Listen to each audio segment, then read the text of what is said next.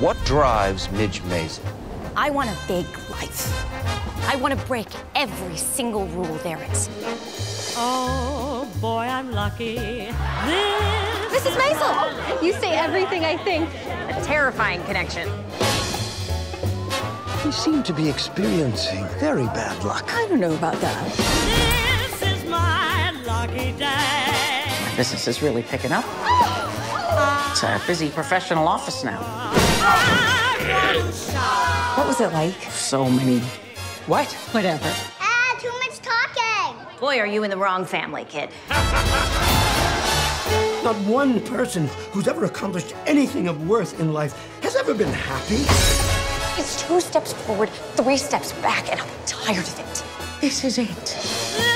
This is the break. They didn't see you for what you are, a goddamn star. You in? I'm in. It's showtime! This is my lucky day. I'm gonna get this. You'll see.